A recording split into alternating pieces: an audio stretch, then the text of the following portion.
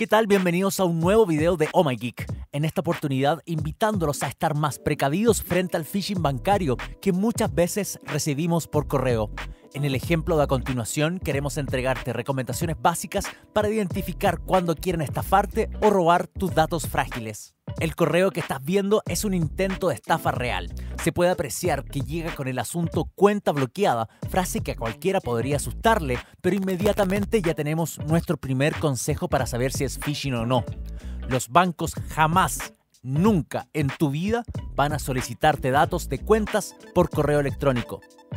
De una u otra manera la gente cae en estos correos o vienen con otros señuelos que terminan haciéndote abrir el mail de igual manera. Y acá nuestro segundo consejo. ¿Perteneces al banco que te envió este correo? Yo no. Por lo mismo, e inmediatamente borraría esto y me olvidaría que llegó. Pero vamos a suponer que sí soy de este banco y justo los cibercriminales le apuntaron. Ok, llamaron mi atención y abriré el correo.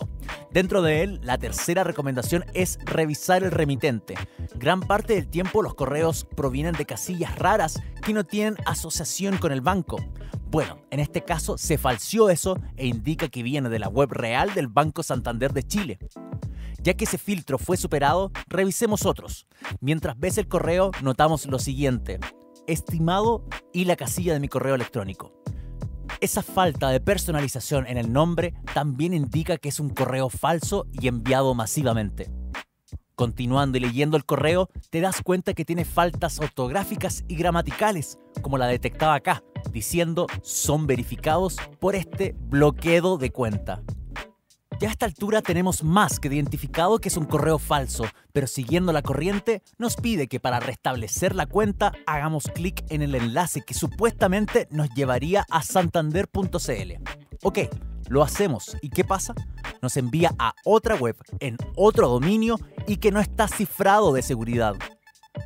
Y si bien esta página está calcada o idéntica a la real del banco, te darás cuenta que solo funcionan los campos de root y clave.